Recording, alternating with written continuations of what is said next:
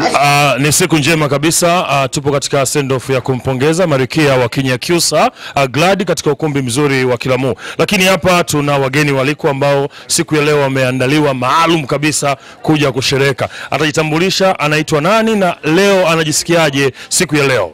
Karibu. Anaitwa Fabi. Ah, nimefurahi sana, ni siku nzuri sana kumwaga, kumpongeza ndugu yetu. Karibuni, enjoy. Asante. Mgeni mwaliko anasema leo ana furasa, lakini kuna service provider hapa eh, Msafiri Media.